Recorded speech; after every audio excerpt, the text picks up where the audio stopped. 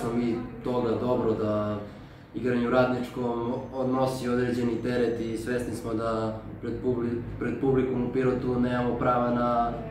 na grešku, da tako kažem. Mi smo ovde favoriti i kogod da dođe, da li prvi na tabeli ili poslednji, e sad najteže je igrati te utakmice koje su napred dobijene, znate. Ali svakako da smo favoriti, da idemo na pobedu ekipa Brzog Broda,